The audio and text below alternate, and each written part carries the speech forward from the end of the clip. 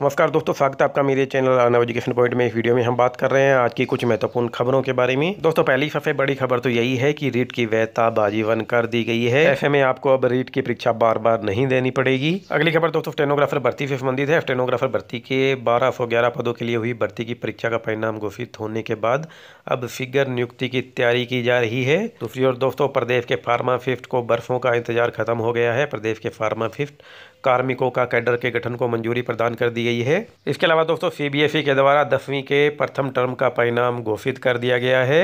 इसके अलावा दोस्तों, आठवीं बोर्ड की परीक्षा 16 अप्रैल को और पाँचवीं की 19 अप्रैल को शुरू होगी।